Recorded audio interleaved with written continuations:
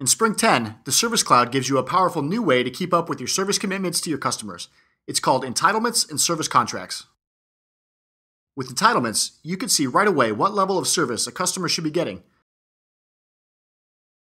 These can be channels like web self service, email support, 9 to 5 business hours over the phone, or 24 7 Premier support.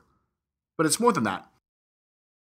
You can also set up milestones and timelines so you can define when your customers are entitled to responses and how long before things should be resolved.